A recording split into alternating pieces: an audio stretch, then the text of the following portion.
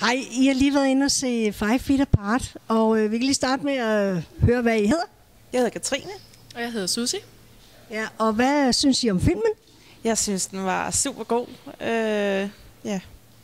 Når man både tuder og griner til en film, så kan den kun være god næsten jo.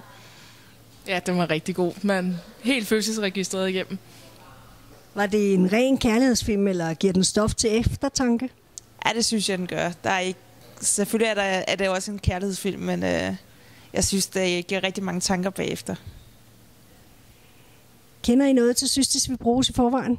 Ja, jeg har en søn på fire år med sygdommen. Hvordan synes du, at filmen så afspejler cystisk fibrose? Det er et billede, som du kender? Jamen, jeg kender selvfølgelig nogle af de bakterier, de nævner, og noget af behandlingen. Øh, og med alle de piller, de spiser, så jeg synes faktisk, det giver et meget godt billede af sygdommen. Hvad, du øh, var også inde og se filmen, og du er jo så pårørende, for jeg øh, kan næsten se I søstre. Så øh, hvad tænker du i forhold til det, du også øh, har set jo ved øh, Adam? Jamen, jeg synes også, det giver en rigtig god fortælling af, af hvad sygdommen øh, er, og hvordan livet er med, med cystisk fibrose. At øh, der er en rigtig meget behandling, piller, men at man også skal huske at, øh, at leve livet. Øh, som jeg i hvert fald synes, at vi i vores familie øh, og Adam prøver at gøre rigtig meget. Så det ikke er sygdommen, der tager over, øh, men at det er noget, vi bare har med.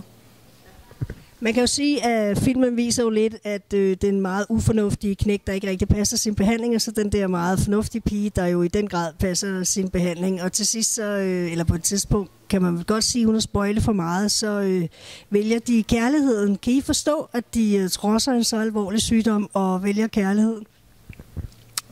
den er svær, ikke? Fordi øh, jeg kan jo godt forstå, at de går med deres følelser.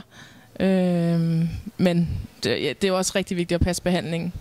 Så øh, både og.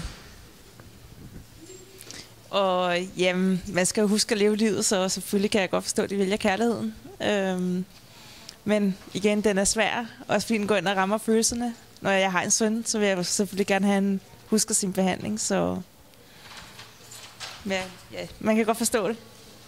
Hvis nu I ikke kendte til cystisk fibrose og ikke selv jo havde det meget tæt inde på livet, vil I så øh, alligevel anbefale den her film til andre? Ja, det vil jeg helt sikkert. Helt sikkert. Den er, den er rigtig god. Altså. Så gå ind og se den. Gå ind og se den.